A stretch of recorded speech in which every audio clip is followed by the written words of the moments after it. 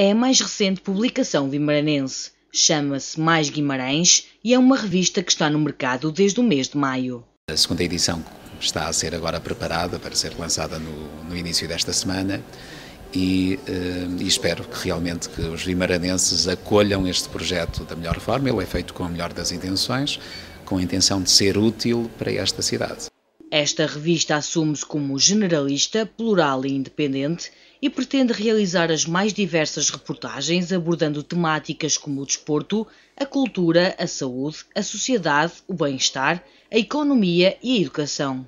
Começou com 24 páginas e agora, com o título do Vitória, com a, com a Taça de Portugal, vamos fazer mais quatro páginas e ainda vamos oferecer um póster uh, na revista.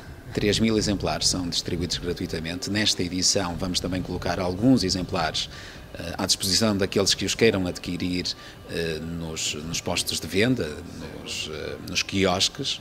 Isto porque notamos que na primeira edição, ao deixarmos exemplares nos cafés e pastelarias, nos locais públicos de toda a cidade, em alguns desses locais eles desapareceram muito rapidamente. Portanto, houve pessoas que nem sequer ouviram falar da revista. Como é uma revista de Guimarães, tem de estar nos escaparates, tem de aparecer, as pessoas têm de ter acesso a essa informação que nós queremos passar.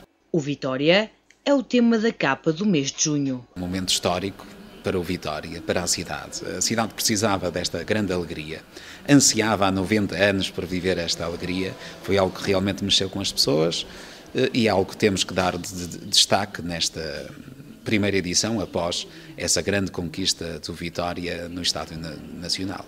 Temos uma entrevista com Rui Vitória numa nova crónica que apresentamos agora, que é À Mesa com, num restaurante da cidade, eh, estivemos à conversa com o treinador da Taça de Portugal para o Vitória. Temos outros artigos como o lançamento do Why Not, o novo álbum dos Let the Gem Roll.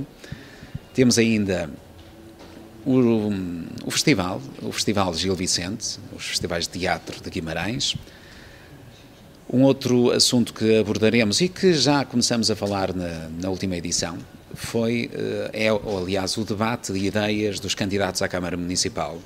Todos os meses lançamos um tema aos candidatos e eles apresentam as suas perspectivas. Em Guimarães está também a decorrer um projeto fantástico no polo de Guimarães da Universidade do Minho, chama-se Fibronamics. Vamos apresentá-lo aos guimaranenses nesta edição da Mais Guimarães. Aqui na revista Mais Guimarães fazemos a paginação, uh, a produção é feita fora, mas a paginação é toda feita por nós. Além disso, ainda há outra publicação que vocês trabalham? O Jornal O Selho, sim, foi o, foi o primeiro trabalho. Correu bem, a Mais Guimarães é a melhoria desse trabalho. Eliseu Sampaio é o diretor da revista, que esta quarta-feira é distribuída em Guimarães.